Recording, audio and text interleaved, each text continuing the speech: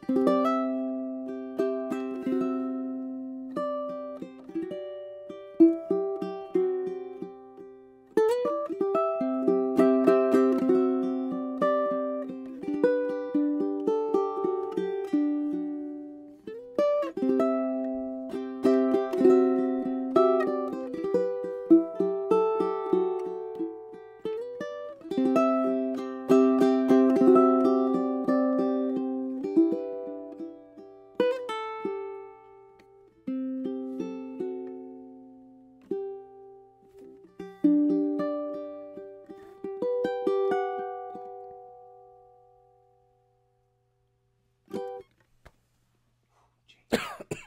Mm. Essence of Jake. Almost.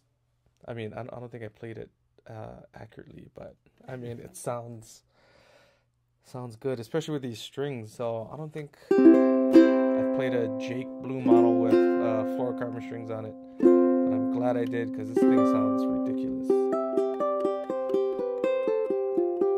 Wow. Okay, beautiful Kamaka Jake Blue tenor. This is in excellent condition. Um, beautiful koa top, back, and sides. Really tight, really nice curl on it. Um, the Jake Blue, of course, has really nice blue purfling all around the body, even on the back. Thing is decked out. Kind of looks like it's glowing.